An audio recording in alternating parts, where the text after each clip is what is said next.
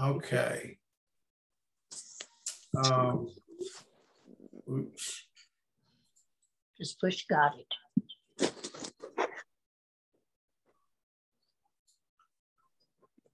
Okay. Uh, I did have, um, I had a, um, a couple questions Monday night from Mexico, or no, they were from Brownsville, I believe. And it was, the question was, um,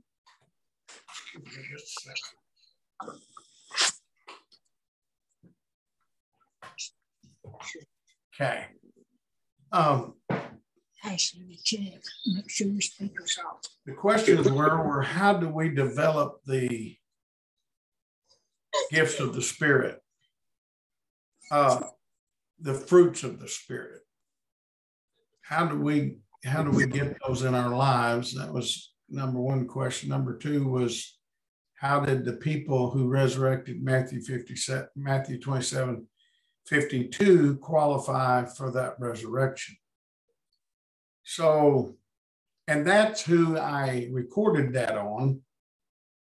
And uh, I was telling somebody today, I said, I, will never remember all what I said. We had a good Bible study, but I don't, you know, I, it was just kind of shooting from the hip because they asked the question after we started Zoom. Uh, but anyway, I, I, I, thought I might say something about it tonight some because um, it just seems like it goes along with what we've been talking about on on um, uh, Matthew 5, 6, and 7, especially working on the Beatitudes. We've recently talked quite a bit about meekness. Um, finding out that meekness has to do with uh, yielding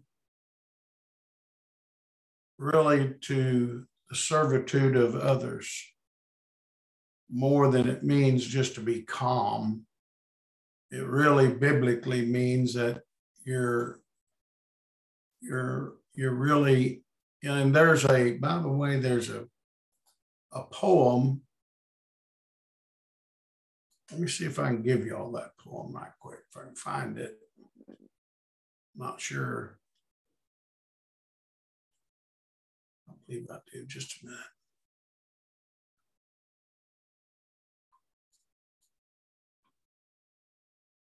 that a sister, it was actually written in a song. A sister in, in our church years ago, before I even came to the body, this was her song. And um, uh, we never could find that song, my wife and I. My wife really liked it. And and um, so here's this here it was a poem uh, by, written by the name of a man's name by the name of Charles D. Meigs. And the name of the poem was Others. He wrote it in 1902. And then he finally allowed it to be set to music in 1916.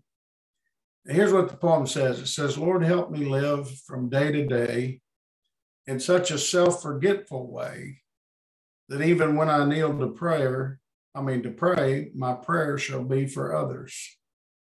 Others, Lord, yes, others. Let this my motto be. Help me to live for others that I might live like thee. Help me in all the work I do to ever be sincere and true, and know that all I do for you must needs be done for others. Let self be crucified and slain and buried deep and all in vain May efforts be to rise again, less to live for others.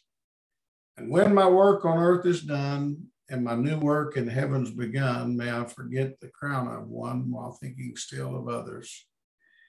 Oh, that was uh, the the the uh, and then they they put it to music. Um, I haven't. I don't know that I've heard it sung since I was in Full Gospel Church in 105 South Sadie Street in San Antonio, Texas back in the 70s, early 70s.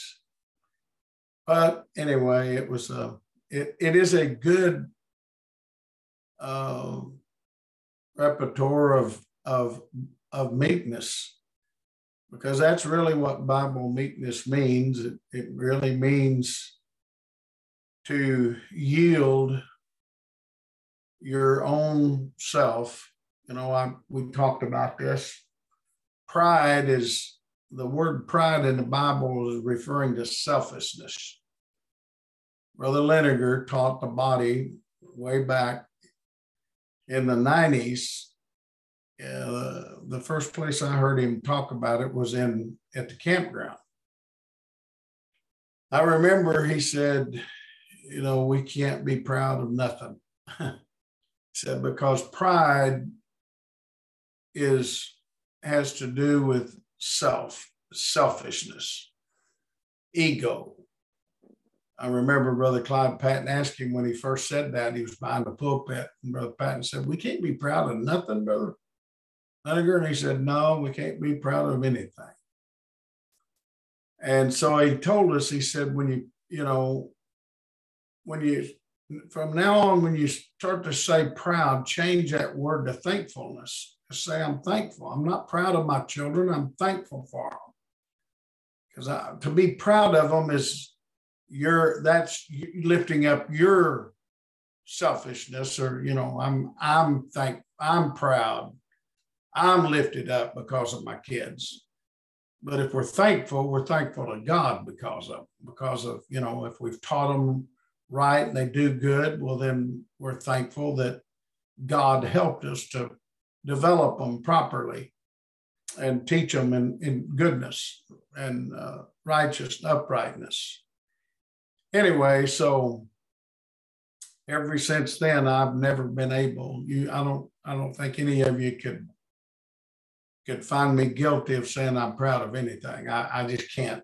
I can't use that terminology. I just you know, it did something to me when Brother Leniger taught that. And I felt something in it, you know, and I, and now when I'd start to say proud, I'd just automatically say thankful.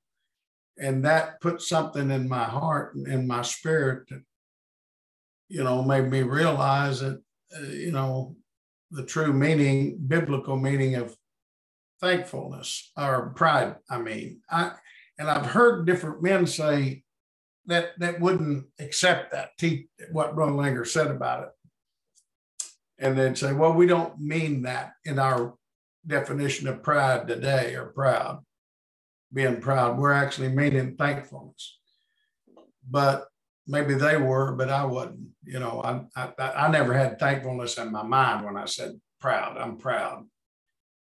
And uh, so anyway, I you, you you can take that for what it's worth, but I think that it's, um, I think Brother Leniger was right on that, and I think it's a it's a good practice to get pride out of our life. There ain't nothing biblical that makes pride, um,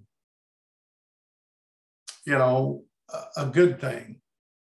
And so I don't think we are to we are to be messing with things that the Bible don't show good anyway, getting back to the fruit of the Spirit, um, you know, in, in Galatians 5 and 22, in fact, I'll, I'll screen share here just a little bit. Um, let's see. How, let's see if I can do this.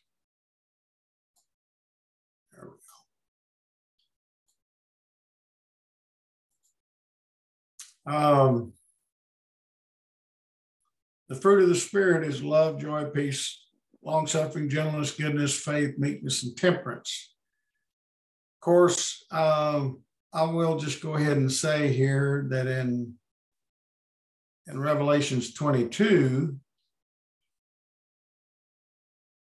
it shows us that John said, and he showed me a pure river of water of life, clear as crystal proceeding out of the throne of God and of the Lamb in the midst of the street of it, and on either side of the river was there was a tree of life.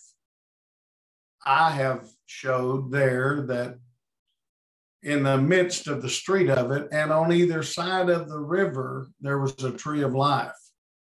So I've showed that, you know, out of the the river of life, there is the tree of life. Christ is the source of the river. He's the tree of life. On either side of it, he sees here a tree of life, which I've showed. I've just said that that's a picture of the early church and the restored church. That there's a there there was a tree of life in the early church. They got back in the garden. Now, least man put forth his hand, eat of the tree of life. Uh, that was what Jesus told said when he put up two cherubims and a flaming sword turning every direction to get back in the garden. Um, you know, I think we we we have to. Um, I think we have to recognize that the garden uh, the garden condition that Adam had with God was that's just what it was. It was a condition. I, I, you know, I know people here at home may get tired of hearing me say it, but I've I've said many times that I doubt seriously that Adam slept in any different place after he got kicked out of the garden than he did the night before. And that makes a point that he probably didn't leave the environment. Maybe he did, but but he wouldn't have had to because I mean when you look at it, the two cherubims turning in every direction and the flaming sword, I mean the two cherubims with the flaming sword turning in every direction have to be symbolic. There wasn't a place like that. There's no two cherubims setting up. We know where the Garden of Eden, you know, was what that location is, and th- that that's symbolic. Those two cherubims represent God and Christ. It represents the old new covenant that they stand for. That's their character, is what's projected in those two covenants. And and the word of God turning in every direction, judging everything It'll judge everything in your life. You can't, there's no, you can't escape anything from God's judgment not to get back in the garden. And so there wasn't any fence around the garden. So all, all Adam would have had to do was just walk around the two cherubims and the flaming sword and walk right back where he was.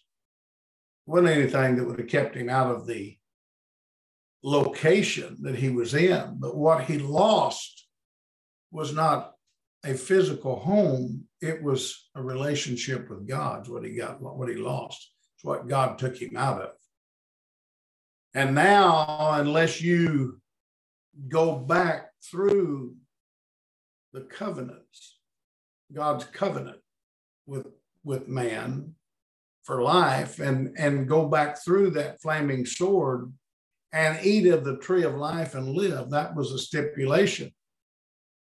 Um, it's like I've recently said, you can you can go uh, in the early church. Second heaven was available, which I've recently been talking on the fact that the garden, paradise, Eden, second heaven, and the holy place are all the same place. That's the same condition in God. And in the early church, that was it was available. The garden was a place that it was a it was a place in God that was it wasn't permitted to sin in that condition. You had to be in a condition where you could live above sin. Adam lived above sin until he decided consciously to sin against God, knowing the punishment would be death. Uh, Jesus Jesus lived on this earth from the time he became accountable until the time he, he died. Jesus lived without sin. He never committed a sin. And he had that place in God that he was in that garden condition. Adam calls him the second Adam in, in where's that First Corinthians 15, where he's called the second Adam. And um, he had the power to live above sin. Uh, and therefore, it looks like you would have to be in a garden condition or second heaven condition or in the holy place or in Eden, whatever you want to call it. Um, you'd have to be in that place for God to finish his work in you.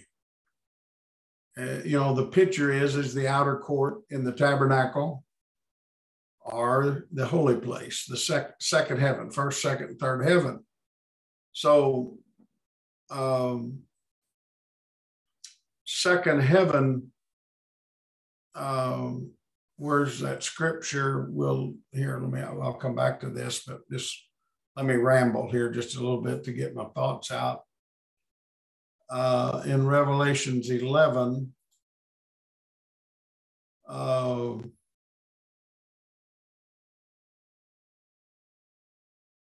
right here in the 18th verse, of course, this is the right here in the 15th verse, the second, the seventh angel sound. This is the seventh trumpet. The seventh trumpet is the last prophetical trumpet of the last 15 years. Um, so it's it is in the, the second heavens available. That's something I wanted to mention a minute ago that just because second heaven was available in the early church or just because it will be available in the restored church doesn't mean that anybody can have that relationship with God. You have to develop and qualify for that relationship with God. You don't want to go into second heaven if the judgment of second heaven is eternal death if you sin you don't want to go in that place until you're qualified and have the power to live above sin. So here the second angel sounds, the seventh angel, the seventh trumpet, um, saying the kingdoms of this world become the kings of our Lord and his Christ, and he'll reign forever and ever. So he's he's once again on the ride horse, uh, exist again in a restored church Four and 20 elders sat before God on their seats, fell on their faces, worshiped God. That's the ministry. Saying, We give thee thanks, O Lord God Almighty, which art and was and art to come, who, because thou hast taken to thee thy great power and hast reigned, and the nations were angry, and thy wrath is come. I, right here, uh, I like to use this Psalms 98 let me go to it right quick. In fact, I'm going to bring it down here because it's easier for y'all to see. I'm using this with the the nations were angry. See, it starts off up here and says, "Oh Lord, sing, oh sing unto the Lord a new song, for he hath done marvelous things. His right hand and holy arm hath gotten him victory. This his right hand's his ministry, and his holy arm's Christ had gotten him the victory. This is in the early church. The Lord hath made known his salvation, his righteousness hath he openly showed in the sight of the heathen. He hath remembered his mercy and his truth toward the house of Israel. All the ends of the earth have seen the salvation of the Lord. I've explained that. Uh, you know, I have a message here about the fact that, you know, they're to go into all the world and preach the gospel. Well, that ain't talking about the whole world. It's talking about all the world that God is dealing with back there in the church and those that he sent Paul to among the Gentiles back there. It included all the Jews and the Gentiles, but he didn't go and they didn't go into all the world, and neither will we. we'll go where God sends us to go. And then uh, the after the bride's made up, then the bride in Christ will rule through a ministry here on the earth down through the thousand years throughout the whole earth. Finally, the whole earth will will will be uh, salvaged. What whoever can be salvaged out of it. Make a joyful noise unto the Lord, all the earth. Make a loud noise and rejoice and sing praise. Sing unto the Lord with a harp, with the harp and the voice of a psalm, with trumpets, the sound of cornet. Make a joyful noise unto the Lord, the King. Let the sea roar. There's I'm I'm I'm using this scripture here to show there in Revelations 11, the nations were angry. The sea roared. That's the world when that early church uh, went forth, uh, when that early church went forth, the, it made the nations angry. I mean, they made Rome mad. Rome was after them. Rome was over the whole world. So Rome turned the whole world. Them and Judaism turned the whole world against the body of Christ. The sea was roaring. The sea was troubled. Uh, and the fullness thereof, the world and they that dwell therein. Let the floods clap their hands, let the hills be joyful together before the Lord, for he cometh to judge the earth, and with righteousness shall he judge the world and the people with equity. So, um, that's what he was saying here was that um, and the nations were angry. Verse 18. And thy wrath is come, and the time of the dead, that they should be judged, and that thou shouldest give reward unto the servants, the prophets, and to the saints, and them that fear thy name. Here, God, here is a resurrection. This is the resurrection that we're showing that will take place in the restored church. This is in the final trumpet where this takes place. Uh, in and like I was saying, second heaven's available, but you got to qualify to go into it. Everybody that comes in is going to come in through the gate of faith. They're going to go through a process. They're going to go to the brazen altar offer up their sacrifice, give their life back to Christ. They're going to uh, they're going to obey the gospel and obey the Lord and work in order and begin to develop and renew their minds and prove what's good and acceptable and perfect will of God. Um, and so here God's going to reward reward those. It's time, uh, the time of the dead, that they should be judged, and you should give reward unto their thy servants, the prophets, and to the saints, and them that fear thy name, small and great, should destroy them which destroy the earth. So God's going to judge the beast system at that time. And the temple of God, here's a scripture I was went here far, and the temple of God was opened in heaven. And there was seen in his temple the ark of the testament, there was lightnings, voices, and thunderings, and earthquake and great hail. So not only was the holy place, the temple open, but even the ark, the Holy of Holies, there was a way back into, uh, how did he say it? Now, least man put forth his hand to eat of the tree of life and live. That's eternal life. That was opened back up. That's going to be opened back up in the seventh trumpet. Um, there, I know there's men saying you know, we can make it right now all the way. I'm sorry, I disagree with that because of scriptures like this right here. I've been preaching this for a long time. Brother Leonard and I both preached it, and nobody gives us any answer to what we're saying about this. That, you know, here's a sevenfold, here's a seventh trumpet. The temple was closed before now. How can you make it if you if if you don't get in the seventh trumpet. So, you know, there's just too many, there's too many uh, scriptures that we would have to do something about. And I, so far, I hadn't got anybody to help me with them. if we, if we would be wrong on that, which I certainly don't think we are. Anyway, so um, I think that um, uh, and, and the reason I'm bringing that out is because the fruit of the spirit, you know, in other words, the the for the the, the question that I had Monday night was was how do we develop the fruit of the spirit? Well, you cannot, you can't just make up your mind. It's like somebody recently told me, said, well, I can, I, we can, we can have charity right now. Well, we can have a measure of charity. That's true. We can have a measure of, you know, um, we can have a measure of, of, of faith. We can have a measure of uh, humility, meekness. Uh, these fruits, we we can we're developing these fruits as we serve God.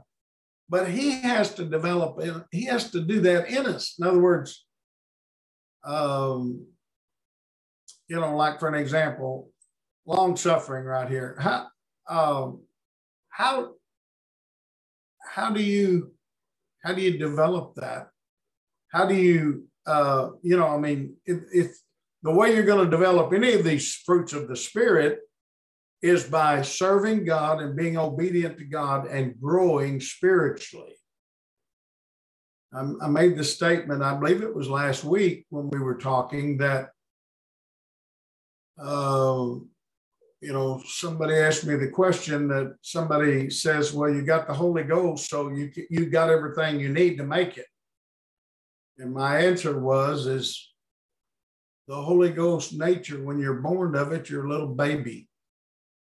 And the mind is the vehicle of your very being, whether it's the inner man or the old man, the outer man, the, the flesh or the nature of God, the Holy Ghost, the new man. Paul calling the, the inner man or the new man. That we have two natures once we're born again, but that new nature doesn't have much of a mind because our mind has to be renewed. That would tell you that the that Adam had a spiritual mind. God created him with a spiritual knowledge and with power to live above sin. You know that he what he didn't have is he did not have experience. He didn't have he wasn't tempered in all of his knowledge. He had that's why he had to go through a process but he had enough wisdom of god and knowledge and understanding to live above sin. Otherwise god i don't think god would have put him in a place where he'd been eternally judged by committing one sin but he had that power. And so for your mind to be renewed, in other words, at some point, man had a, had a new mind that had to start with Adam. But corruption with the fall of Adam brought corruption and sin into the world. And of course, you know, that it took, it took almost a thousand years for the world to become so corrupt men for men to begin to die at a younger age. Men lived, Methuselah lived 969 years. All those men back there lived, you know, over 700 years, except for Enoch. He was pleased with God so much. That's that's something that kind of rattle your mind a little bit. That God loved Enoch so much that he took him at 365 years old and the others got to live to be nearly a thousand years old, 900 some odd years. Adam lived 930 years. Why? We look at it like the older we live, the more blessed we are. Enoch was more blessed by dying at 365 years old than Methuselah was living to be 969 years old. Think about that.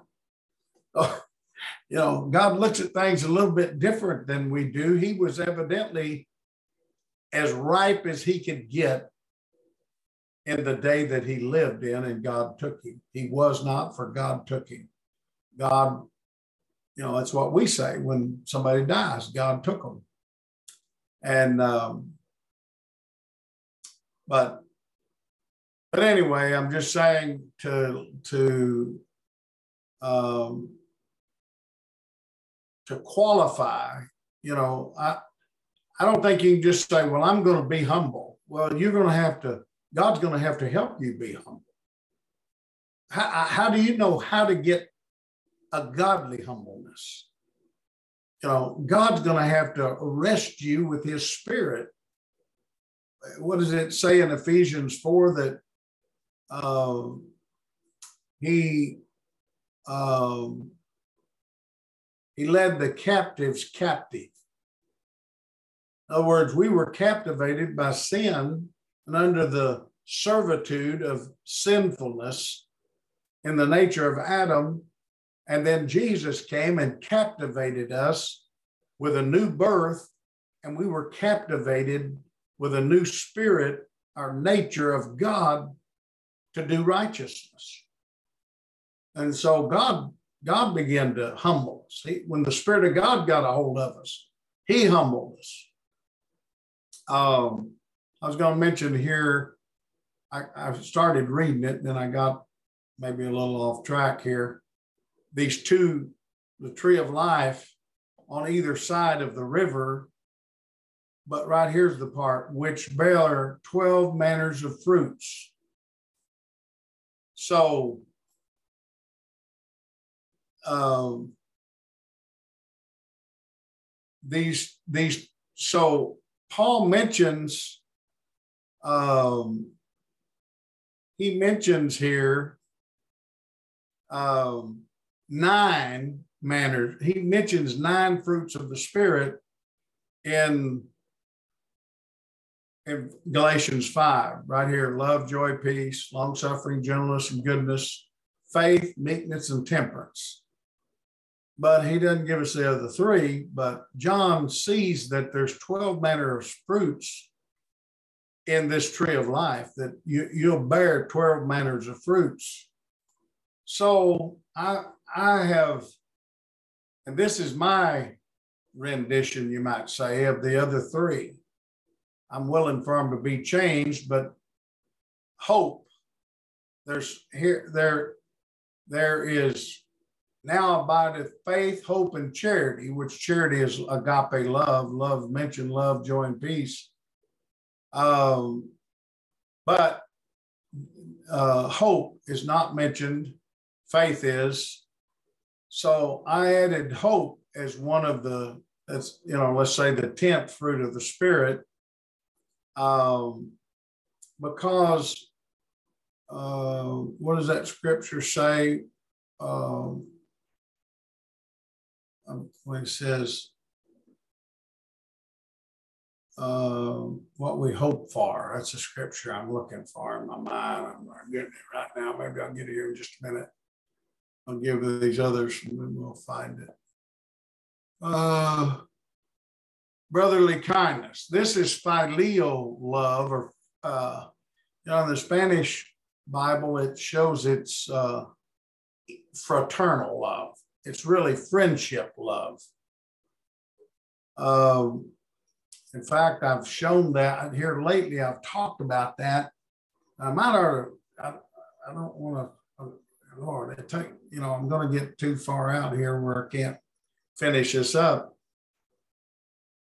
About Peter, instead of going there, I'll just say something about it again. We could look at it maybe later, but where Jesus, after Jesus died, right before he was crucified, if you remember, he prophesied to Peter that he would deny him three times before the cock crow.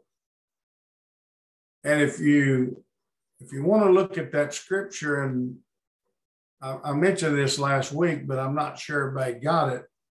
Isn't that the 26th chapter of Matthew where Jesus resurrected? He's, you know, Peter said, I'm going fishing. you know, he he they they were totally confused. This savior that they thought was coming to save the world, he gets crucified. And of course, he had told them, but I'm not sure they really comprehended all that he was saying to them. And Peter was so frustrated with it all, he decided to go back to fishing. So they went with him. They all went fishing. Here, Jesus showed up on the uh, beach, and and and you know, y'all know the story. He wound up sitting there, and they uh, having. I think that didn't, didn't he eat fish with them there, and uh, and he asked Peter, Peter, lovest thou me more than these? I think he was probably talking about, do you love me more than these fish? More than going back to fishing? I don't think he meant, do you love me more than these other men or that than you love these other 11 men? But when he said that, you know, our Bible translated, Peter answered and said, Lord, thou knowest I love thee. But if you look at those two words, love, when Jesus said, Peter, lovest thou me? That's agape love. And by the way, that love, it it really, I mean, it's used as love that even a sinner can have that's never been born again. Uh, it's really talking about the the center of your affection what your affection's really centered on. It's it's more than fraternal love or, or filial love, which is friendship love. But that was Peter's answer to him. Peter's true answer to him. He said, Peter, lovest thou me with agape love? Peter said, Lord, you know I'm your friend with filial love. He did not say, I love you like you love me. His answer was, You know, I'm your friend. That's what that second love, if you look at it, the Greek word is Philadelphia. It's, it's filial love or friendship love. Peter answered him, Peter, Jesus answered him again the second time. Peter, lovest thou me with agape love? And Peter said, Lord, you know I'm your friend. So when I saw this, I began to try to rationalize my mind. Why wouldn't Peter answer him back with what he was asking him? Do you love me with agape love? Is that the center of your affection? Do you have that the kind of love for me that I have for you? Of course, you know, he's talking about the kind of love that you lay down your life for your friend. And you got to remember, you got to remember Peter just had denied the Lord. We, we don't get too much more information out of it, but Peter may have been feeling like, where's he going with this? Is he fixing to correct me for denying him? Is he fixing to call me on the carpet about that? You know, in other words, if, if I say I love him like he loved me, how could I have denied him? And how can I say that when I did deny him? I'm trying to make a point here that obviously Peter felt the seriousness of denying the Lord and realizing he didn't have the proper love and he couldn't state it. And so the best he could do is say, Lord, you know, I'm your friend. So then the Lord's third time, he didn't say, Peter, do you love me with agape love? He said, Peter, are you really my friend? He used filial love that third time. And Peter answered back again, Lord, you know I'm your friend. And he answered back, feed my sheep. So uh, to me, that little story has a lot more meaning to it when you look at those two different kinds of love and what really was transpiring there. Because, you know, I mean, even, even every one of us probably our love for God's probably not where it needs to be. We're going to God's going to have to help develop us in that. Peter had to be further developed in that. And so uh, these these these fruits of the spirit. Uh, did I give the third one? The third one is praise. Um, here in Hebrews 13 and 15, it says, By him, therefore, let us offer the sacrifice of praise to God continually. That is the fruit of our lips, giving thanks to his name. Um, joy here is one of the fruits of the Spirit, but joy is different than praise. Uh, let me give you another. I think I've got another scripture here on praise in First Peter 2 9. But you are a chosen generation, a royal priesthood, a holy nation, a peculiar people, that you should show forth the praises of him who hath called you out of darkness into his marvelous light. See, um, praise is something God has to develop in you. Um, you know, like a natural little child. When that child begins to grow up under your in under your covering and in your home, that child, everything is about it. I'm here for you to feed me. I'm here for you to change my clothes. I'm here for you to tie my shoes. I'm here for you to do everything for me. And that's how it is when you first come to God. You're there to receive. You're not, you're not in any condition to give much. It's sort of amazing. I uh, when I first came to the body, I came to the body from Babylon.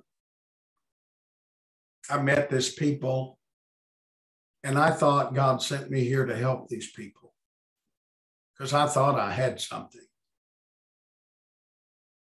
And that's that's sort of what I run into, you know, like we run into people like these ministers in the Dominican Republic. Brother Green was just telling me about a man, new man he's been working with.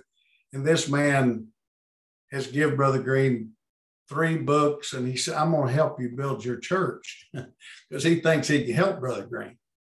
But he, he, I told Brother Green, throw them books in the in the trash. They're not going to help you. You you can't if God don't if God don't make you hungry for what this body's got, you you're not going to be able to. You know, in other words, there's very few people has a. Now, I'm not saying they don't have anything they can help you with, but I'm talking about I mean, I thought that this body needed a lot of help when I first got here, and I thought I was going to help them. That's how exalted I was.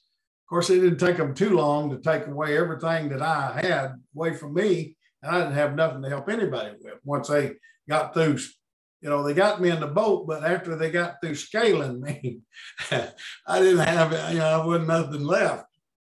Well, it's just sort of how you are. You, you, you God's got to humble you down, and then He's got to begin to work in your life. Um, that's that's the way goodness here is. Um, let me read you three scriptures on goodness. It says, "I and I myself." Um, also, I'm persuaded of you I might need to make that, I need to make that bigger for y'all.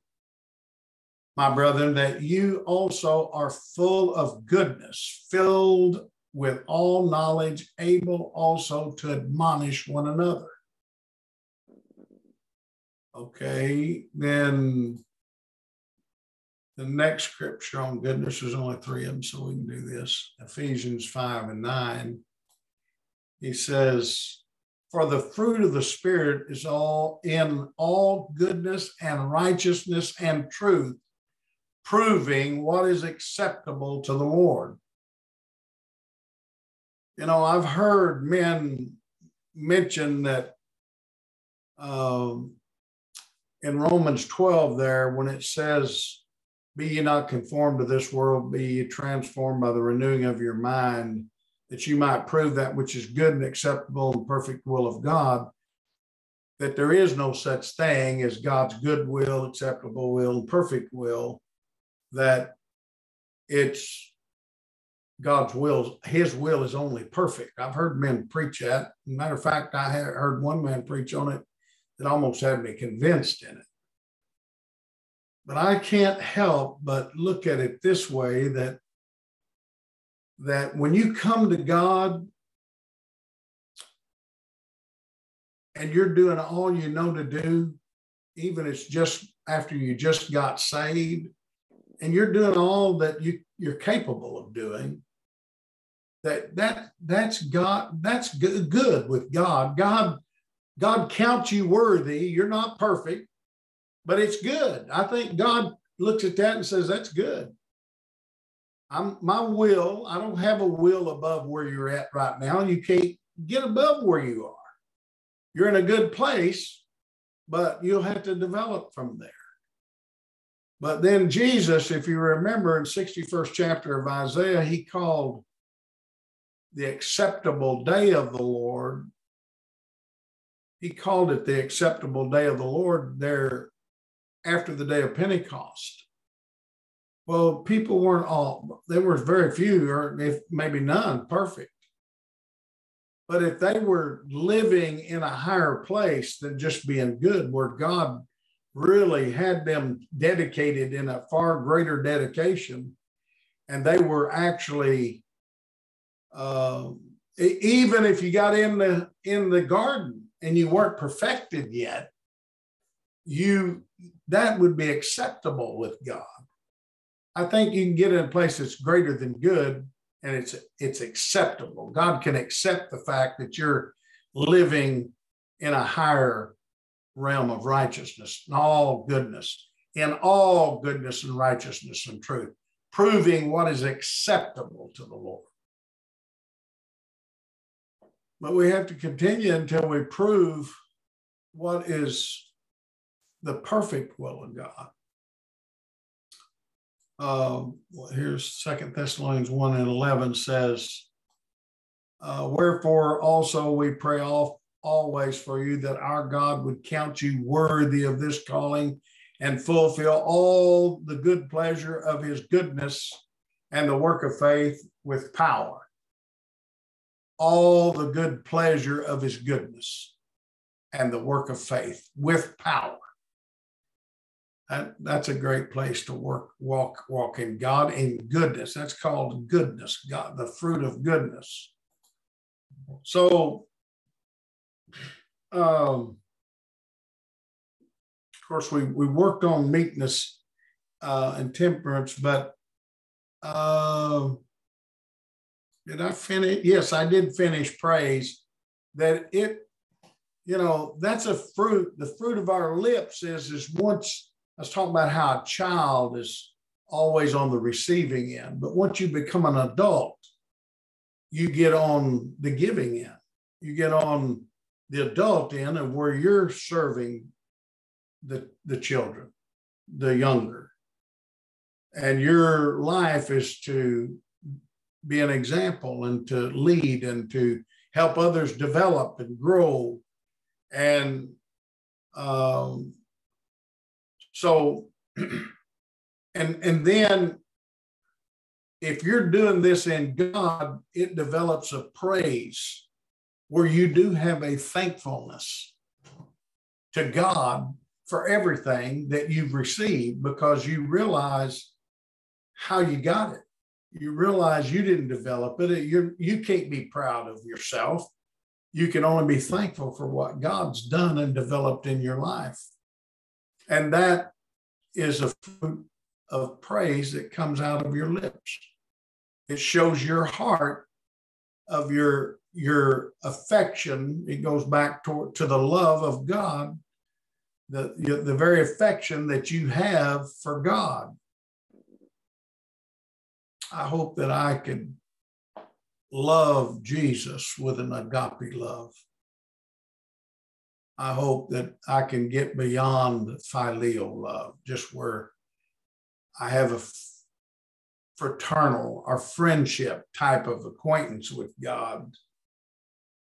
Um, you know, it's just in this life we live in, when you read the Bible, you know, my wife and I are, we, I, I hope everyone is reading your Bible through again. We're in January and, and my wife and I are, uh, we started reading it.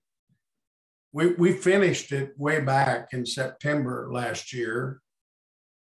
Um, but I didn't. We didn't want to start it too early because we always try to. We read. We read it uh, every morning, and we read two days readings at a time. We're set up to read it in six months, but we never are going to probably finish it in six months because there's times when we're gone out of town. We don't read. We don't read on on Sundays normally. Sometimes we we, will read, you know, sometimes we may read in the mornings two days, and then we may read again in the afternoon. You know, if we want to, especially if we're interested in where we're at and we quit where we wanted to go, we want to find out what happened. Of course, we know what happened because we've read it before, but still it's it gets interesting. We're reading in the chronological uh, plan, the reading plan. I, I read my Bible in a chronological uh, reading plan because it puts it in order of how it was written. You know, the, Moses wrote some of the Psalms. So when you're reading in the in the writings of Moses Pentateuch, the five first five books, Genesis, Exodus, Leviticus, Numbers and Deuteronomy, where he wrote a Psalms, it'll it'll be right there where he wrote it in the time that he wrote it. Uh, the, at least most of the time they'll get it right. Sometimes they may not know the exact, they just have to do the best they do. But it it puts it in perspective for you. It's just like the prophets.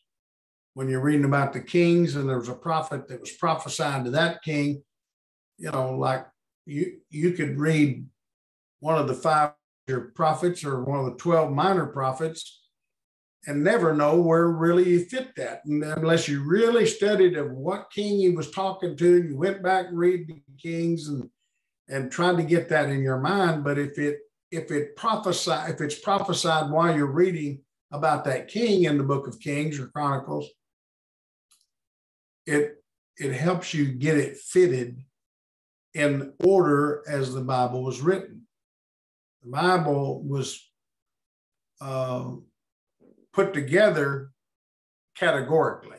You know, five books of Moses, the, the 12 books of history, the five books of poetry, the five major prophets, and the 12 minor prophets. Same way in the New Testament, the four gospels of Jesus' life before he came back on the day of Pentecost the historical book of Acts, and then the 13 or 14 epistles of, of Paul, and then James, the two epistles of Peter, the three epistles of John, and the book of Revelation. So it's put together categorically so you can look it up. You can look at an index and go to that book, which you'd never be able to find some of the Psalms or some of the prophets it'd be real hard to find it if they were all if you're trying to read a chronological Bible. So is they put it together categorically so it's easier to find things. But when you're reading your Bible, my recommendation is read it in chronological order, and uh, you'll be able to.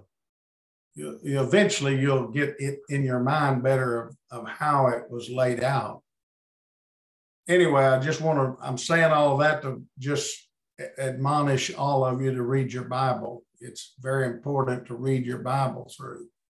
What I was going to say was, is that when you're reading about the children of Israel when they come out of Egypt, and you read about that and you think, you know, number one, this was an um, it's a it's it's an amazing thing to imagine three million people out in the desert encamped around a tabernacle. you know, here set this tabernacle. And God put, he encamped Israel around it. He first put Aaron and, and Moses and Aaron at the eastern side of the, you know, you had to get in through the eastern gate. That they Moses and Aaron, the, the Levitical tribes surrounded the tabernacle before the encampments of the tribes. So Moses and Aaron was on the east side of the tabernacle. On the south side was Kor, Kohath. These were all Levit. These were the Levitical priesthood. Uh, Levi was uh, Levi. This tribe of Levi was broke up into these four tribes. Kohath was on the south side. Then Gershon was on the west side, and Merari was on the north side. And then out on the east side, outside of Aaron and Moses, was Judah. Judah, the, the, the, the tribe of Judah, and Issachar and Zebulun was Judah was in charge of those three tribes in that eastern encampment. And then south was Reuben, the firstborn. He, his tribe was in charge of the south encampment, which was where uh, the tribe of Simeon and Gad were. And then on the west side was Ephraim. Now, Ephraim was in charge of that encampment. He was, see, he was just outside of uh, who was that? Gershon, the Levitical tribe. See, these encampments protected those Levites that were around the tabernacle. And so Manasseh was the leading in charge tribe in charge. And in that encampment with him, with with Rub, I mean Ephraim was Manasseh and Benjamin. And then on the north side was Dan, just north of the uh, Merariites of the tribe of Levi. And so Asher and, and uh, Naphtali was in that encampment with them. Well, um, see, Ephraim and Manasseh were both sons of Joseph, which was one of the 12 sons. So that made up another tribe, the tribe of Manasseh, which made 12 tribes because God didn't count the Levitical tribe. He didn't count them in, in the main encampments because he saved them for himself. He took them instead of the firstborn of all of Egypt. He took the tribe of Levi for himself. Anyway, uh, what I was going to say is, I mean, can you imagine three million people have you ever even stopped and thought about it? If you was in the tribe of Manasseh or Ephraim, how far would that be where there's 3 million people encamped to the east side where Judah was? I mean, I know they weren't encamped spread out as much as Little Rock, Arkansas, which is less than three quarters of a million people in population, but 3 million of them? probably was something like Little Rock. How long would it take you to ride a camel from where you're at to my house? but 20 miles. I can tell you, I rode a horse one time when I was 12 years old, 30 miles, and it took me all day into the night to get 30 miles on a horse. I will admit I stopped at a lake and went swimming on the way. But I wasn't there an hour. Got back on my horse and took off again. Me and another guy. Tw- Can you believe that? 12 years old, I took off and rode a horse 30 miles from uh, McAlester, Oklahoma to Wilburton, Oklahoma. And I'll have to admit, before I got to Wilburton, I, it was dark and I stopped and called my uncle. And he come in his pickup with his cattle rack and we loaded that horse and I he he drove me about the last seven or eight miles and and it come got me But I'm, what I'm just saying is, is imagine how big this was, this encampment of God. And my point about it was, is all of these people lived under the law of Moses, and God was dealing with them. I mean, compare that to the life that we have today. I mean, how how closely connected are we connected to that kind of operation of God? How far has corruption got into this world? My point, one of my points. Well, I just have to say, I know God knew it'd get like this, you know, and uh, the Lord still has the power to save us in all of it. But I mean, sometimes when you read that, you think, God, we need to be in a place like this where we're not worried about making all this money and living in these big homes and all everything that we do when the bottom line of it is serving God and doing the will of God and having God help help us and lead us and guide us into all righteousness, all this goodness of God.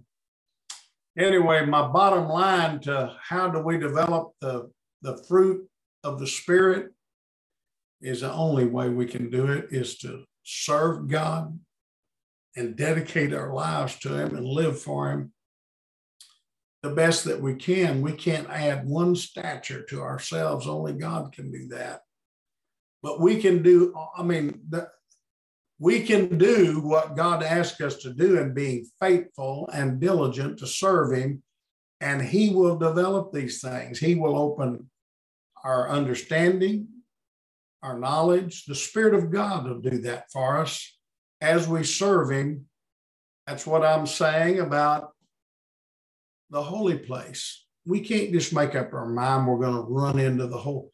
What is that scripture in, in Hebrews? It says, uh, with all boldness, we uh, enter into the holy place. Is that what it says?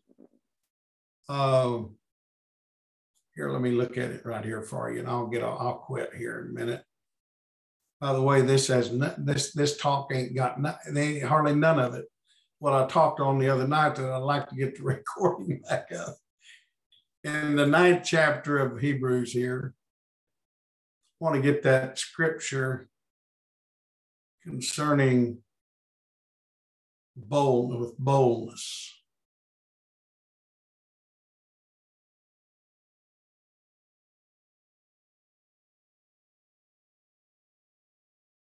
Here it is. Having therefore, brethren, it's in the 19th verse in chapter 10. Having therefore, brethren, boldness to enter into the holiest by the blood of Jesus.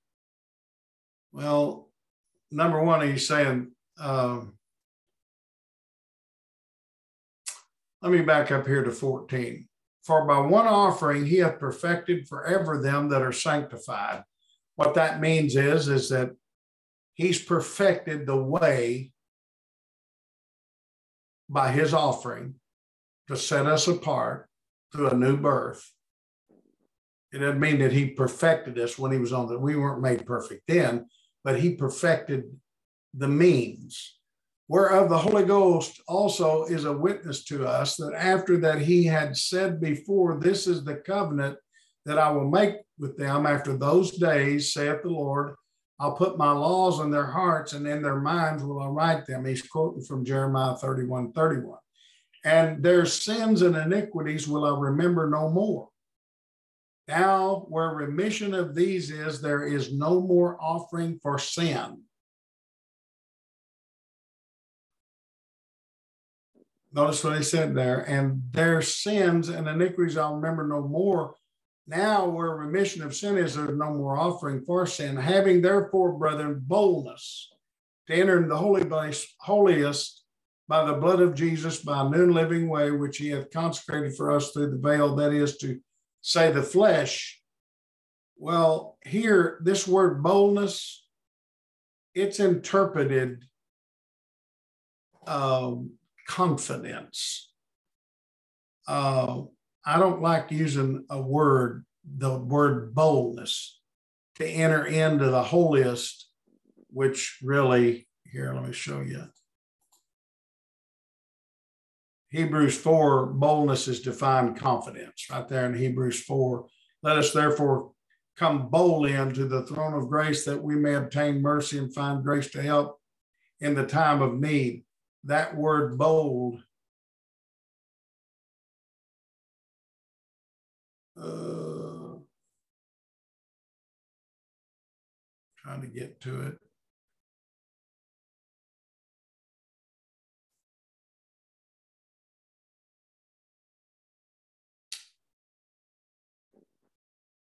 No, didn't come along. Not sure I'm clicked on the right word here. Just a minute.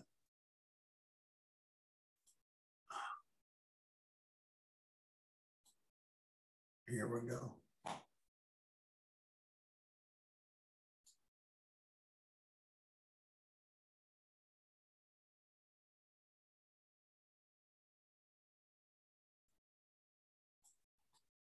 This may not be the right scripture. Just a second.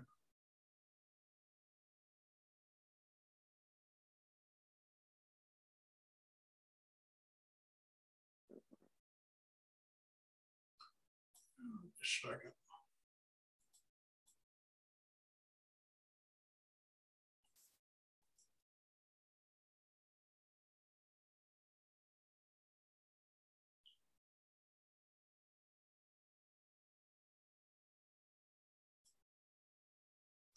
Right here it is. It's in Hebrews 10 35. Cast not away therefore your confidence.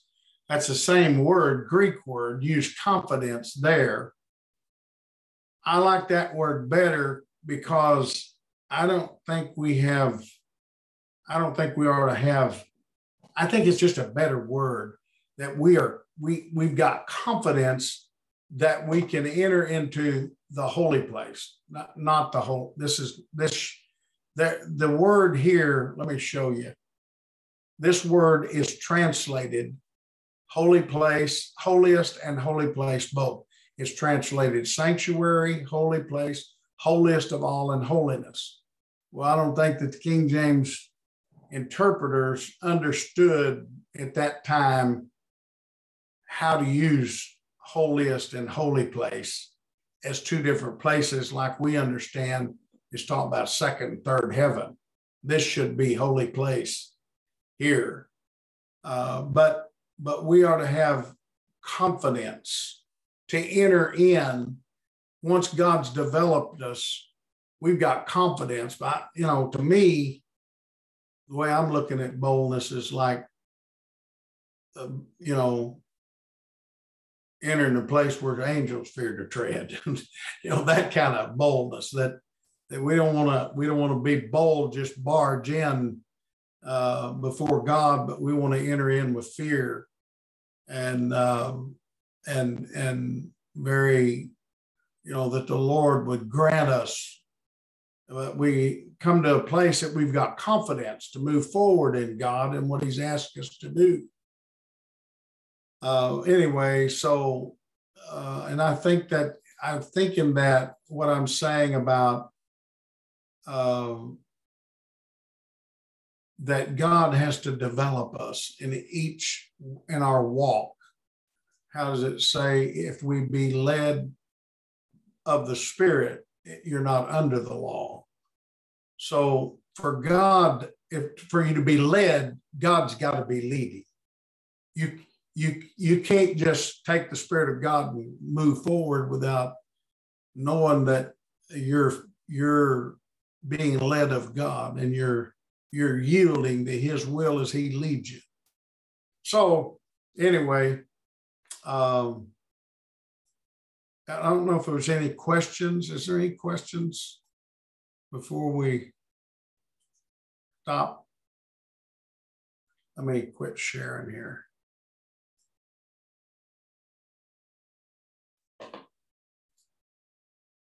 Y'all are such good students, you know, that I'm, there's no questions. I, I made it so plain that there ain't a question about uh, well, I understand. I'm just going on. I know that uh, sometimes there's two reasons people don't ask questions. Number one, uh, there's no such thing as a stupid question. There's no such thing as that. stupid means you can't learn nothing.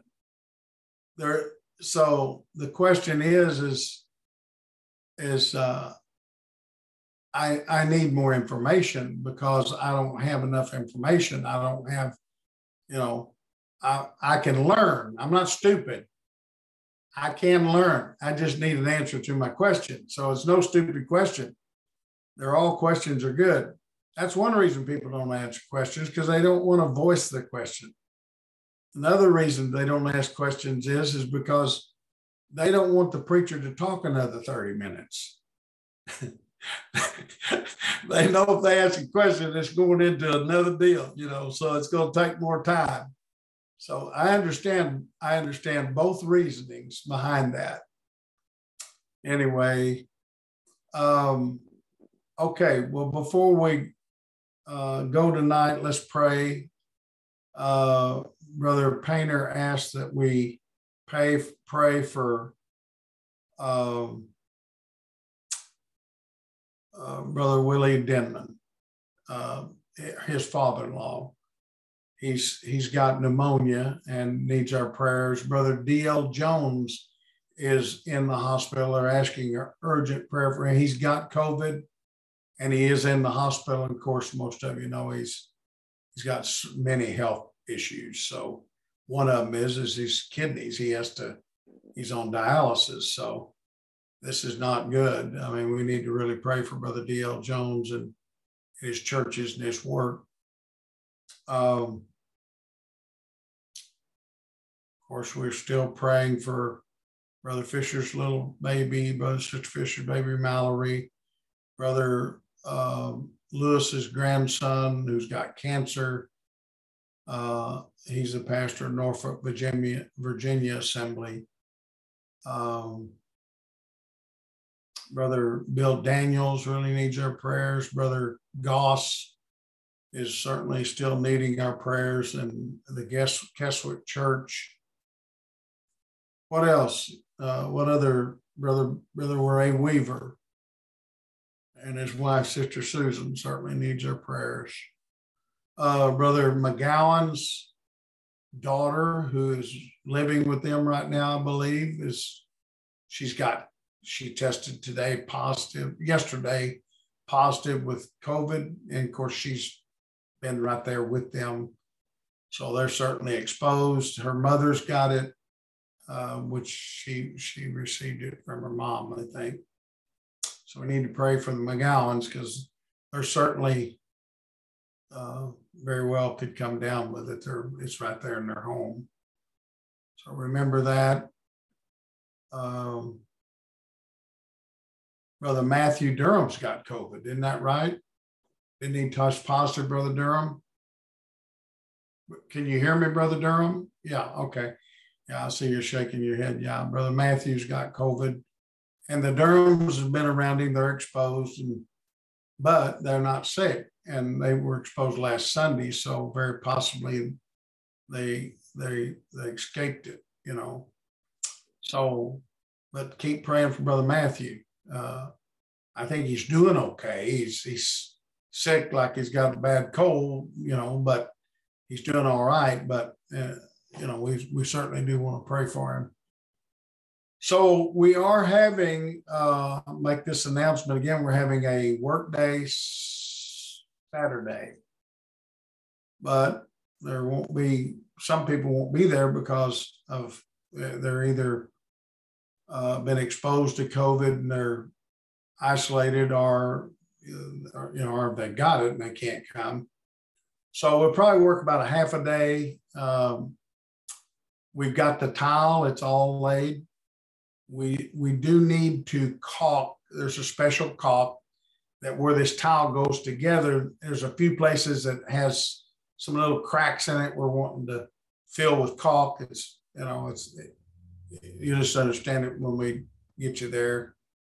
Uh, we're painting the dining room. Uh, Brother Scott York's been painting there since Tuesday, and uh, he's got the eastern wall, southern wall, and the northern wall painted. And the dining room's got the freezer room painted. Uh, we don't have the western wall painted uh, or the little hallways. Uh, the washroom's not painted, neither the the pantry, but and we need to get the refrigerators, freezers back in the freezer room. The refrigerators moved, and then all the tables and chairs need to be set up. But we can't do that until we finish with the floor. I mean, all it needs is just some the caulking done, and we'll probably work on the ba- the base baseboard, putting it back up around so I'm not sure we can get it all done Saturday, but with what, but whoever can come, please come and we'll do what we can do. There is a ministers meeting starting at 11 o'clock. Uh, I'm probably just going to bring my iPad and and uh, if y'all won't tell anybody, well, I'll I'll get on the ministers meeting and I'll take my video off from time to time and go do whatever I need to do and then go back and get back on the meeting.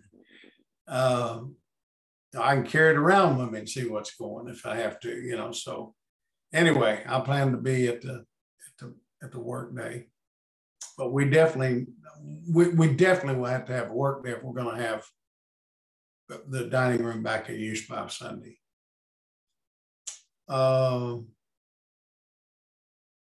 so the young men, the strong bucks, you know, we need them there, and and uh, hopefully we'll get most of it done. I think we can get enough done to get it back in functioning order. We still may need some painting, but we can leave that that you know where we get the tables and chairs back down, and we'll have everything around them painted, and then we'll have some other areas, you know, like the washroom, the pantry. That that can be painted uh, later. It doesn't have to be finished Saturday. We'll just see where we're at.